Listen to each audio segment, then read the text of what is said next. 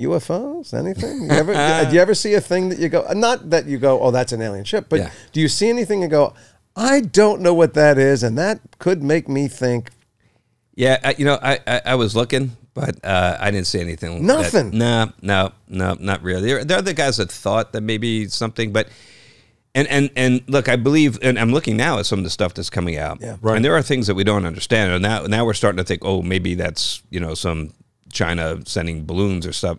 But um, so I do think that there's things that we can't explain, but I don't jump to the conclusion that that means there are alien visitors uh, out there. I do think that there, I do think that there is almost definitely life somewhere else in this universe. right?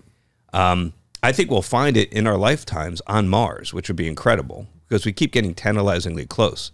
We keep finding out that there's liquid water and the building blocks of life, and we keep getting more circumstantial evidence. And I think someday, before too long, we'll find that little Martian microbe or something. Yeah. And then we're two for two if we find that.